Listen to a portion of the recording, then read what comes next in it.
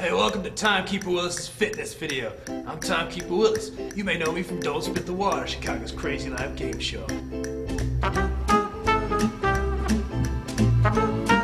You know, people give me compliments, they tell me two things. One, you're a really good timekeeper, of course. And number two, you've got a great physique. Well, you can too with this fitness video. I'm gonna show you how to get your body in pristine shape. First, remove any jewelry